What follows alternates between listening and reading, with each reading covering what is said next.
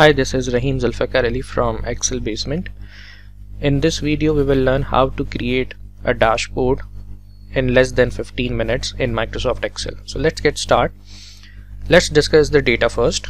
So in this particular data, we have around 8 to 9 columns, uh, segment, country, month name, year, discount bands, then unit sold, amount for sales, cost of goods sold, and the profit and we need to um, transform this data into a very good visualized dashboard. So let's get started so I have uh, created a new sheet within this workbook and I have renamed this sheet as a dashboard where we will put all our visuals and slicers here. Uh, after adding this data to some pivots and slicers we will add more data of uh, 2022 in this particular data and I will tell you that how it will be useful to make uh, an, a table instead of a normal range in Excel because it will append the data and it will update in just one click.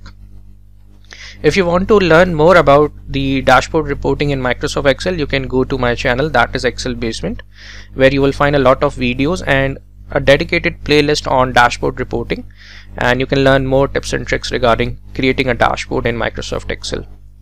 So let's get started. First I will select this entire data or if it's in table format you even don't need to select that. Uh, go to the insert tab and click on pivot table and click OK. So a new sheet will be inserted in, in your workbook. Let's rename this sheet as workings and let's uh, create a pivot table. So I will add let's say country then segments and then sales in the values. So I, I will got quickly one pivot table. And I will just uh, make sure that the formatting is correct. And what I will do is I will create uh, a bar chart for this pivot table. So I will go to insert tab and I can just uh, click on the 2d bar chart right? So make sure that once you created a bar chart uh, it's also necessary to note that uh, you need to reverse the axis as well uh, of y-axis so just click on that right click click on format axis. And here on the right side in the format axis menu uh, check the categories in reverse order and also check mark at maximum category okay? And then close this. Okay so we don't need these buttons as well. So what we can do is right click and uh, from this contextual menu click on hide all field buttons on chart right? Uh, let's rename the title as well. So it will be called sales by country. And let's put this a bit on left side. We don't need this particular legend as well. We don't need these grid lines so just click on that and delete. Uh, we need to turn on the data labels for each of the bars. So right click and from this contextual menu click on add data labels. Okay. Uh, let's increase the width of these uh, columns. Uh, right click format data series and decrease the gap width. Right? Let's also change the color scheme as well. So I will go to the design tab and I will have a yellow theme for this dashboard right? Once you have done with your this visual you can cut and paste this visual to the dashboard sheet or you can just copy and paste as you like. So I will here my preference would be so I will press ctrl X to cut this visual and to paste on this dashboard sheet okay? So we have successfully pasted this. Let me resize it right? Okay if you don't want to see these grid lines just go to view tab and turn off the grid lines. Okay. Now let's add a slicer. So I will go to the workings where I have a pivot table. To insert a slicer click on analyze and click on insert slicer and we will have a year slicer and uh, also month name slicer. Okay so I will just cut these two objects as well and I will place them on my dashboard sheet here. Okay so I will just make a formatting for this particular slicer. So for doing that just click on the slicer go to the slicer tab and let me increase the columns into 3 and resize this object. I don't want the header because it's already being understood that these represent to the years so right click and uh, go to the slicer settings and uncheck this display header. Okay so you have more space right here. Uh, let me change the color scheme of this slicer as well into yellow right? Okay so I will put this here. Now the month name slicer I will go to the slicer tab and let me make into a six columns. Resize that slicer and right click slicer settings uncheck this display header change the theme color for that as well. So the next step is I need to insert some rows so I have inserted some rows I will go to my first pivot control selecting that pivot control C and I will paste that pivot and what I will do is I will change this pivot table. Okay so now uh, the next pivot table is is uh, being classified into sales as a line chart. For that I need years in the rows and the segments in the columns. And I will create a line chart for that. So for doing that you can just click on analyze pivot chart and let's have a line chart for that. Okay. So again control X for cut this visual and paste on the dashboard. Okay. So we will do a bit formatting here. Right click hide all field buttons. We don't need this legend here. Delete this grid lines change the theme color design yellow theme color right? And uh, and the title we want so we will click on plus sign and chart title. So this is basically sales. Next again we will copy this pivot table selecting this pivot table copy then paste and here we instead of sales we will be having profit in the values and we will create a line chart for that. So again analyze pivot chart select the line chart. Okay. And cut this visual. Place that into the dashboard sheet. So adding a header to that. So it says profits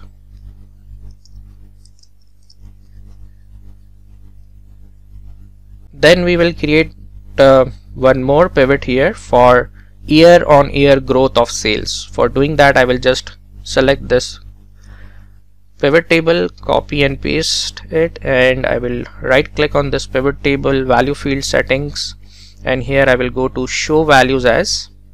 So instead of no calculation select percentage difference from. And the the base field will be the year base item will be the previous. So this is the year on year growth of sales okay? So let's create a column chart for that.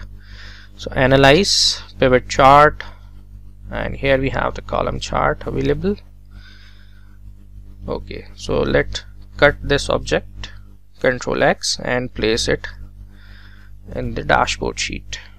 So all those same formatting tips and tricks we need to follow. Color is okay. Next we need to add the year on year growth for the profit as well. So I will just select this pivot table or which uh, represent the profit for each of the year segment wise so I will select this pivot table copy and paste it and I will do a calculation. So right click value field settings show values as and select the percentage difference from and base item is previous. And we will go to the and we will insert a quick chart for that. So analyze pivot chart column chart.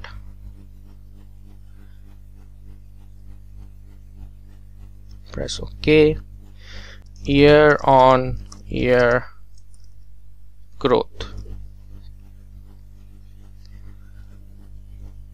Alright so what next we want to do is we want to add one more slicer of uh, these segments and when we click on any of the particular segment these charts will get filtered or changed. Okay?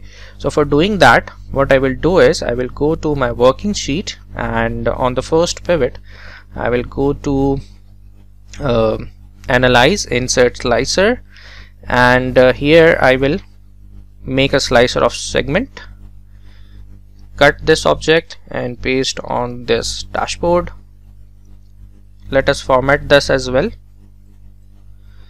So I will go to in slicer columns let's say 5 resize this particular object. Right click slicer settings remove the display header press ok and uh, also change the color theme color. Okay so we have these five segments here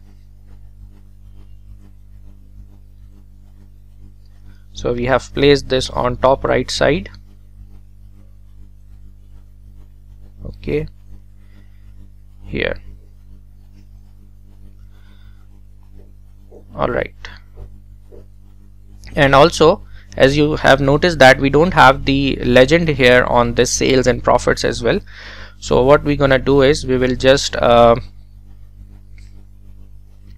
create a chart a line chart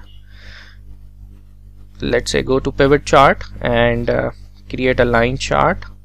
And we will say that uh, make sure that this particular legend goes at the bottom right? And resize this object cut this object and place to the dashboard sheet. And what we're gonna do is we will have a little trick for that. We will resize this particular chart in such a way that we can just see the the legends here. So we'll resize this resize this and let's bring this chart behind this slicer or format and send backward. Send to back right? And I will put this here.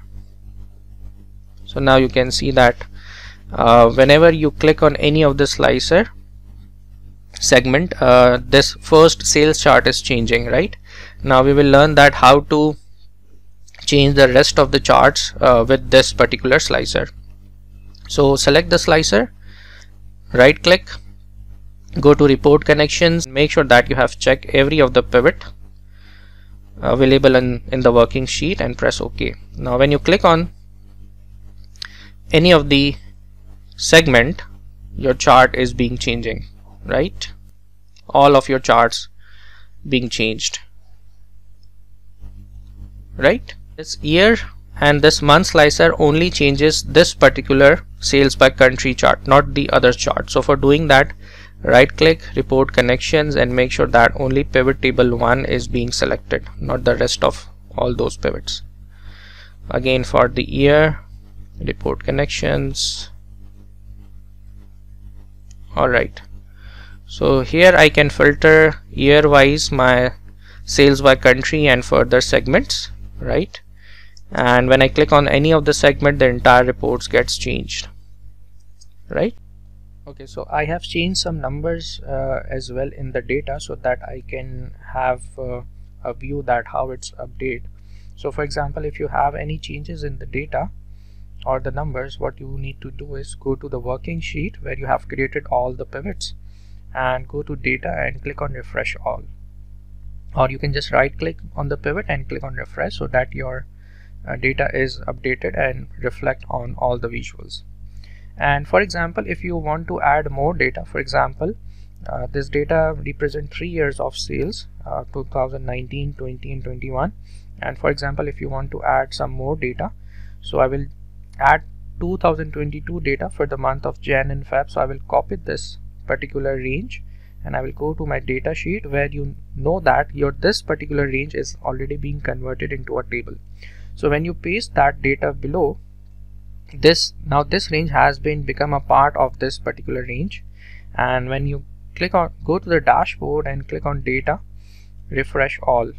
So you can see that on just one click your 2022 has been added on all the visuals right uh, because only two months sales has been recorded for the current year so it that's why it's going to the downwards. And because this data is not the real-time data it's a fictitious data dummy data so that it's will it will not represent the actual view of the business.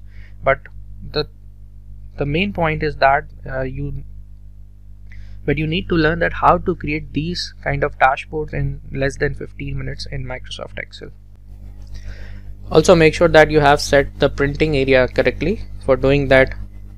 Control P for the print area. And let's do some page setup settings. It will be the landscape. Let's resize the margin area. Center on the page horizontally. And also you can just press alt VP to have another view which is basically of page big page break preview. Here. So this is how you can create a quick dashboard within 15 minutes in Microsoft Excel by creating some pivot tables creating some visuals out of that and connecting with some slicer so you can have this kind of a dashboard in less than 15 minutes. Let me give a good view of this dashboard to you as well if you put it this to the 100% now you can view that different visuals are available right? And when you click on any of the segment it's just get filter and the dashboard is ready right? Okay. Thank you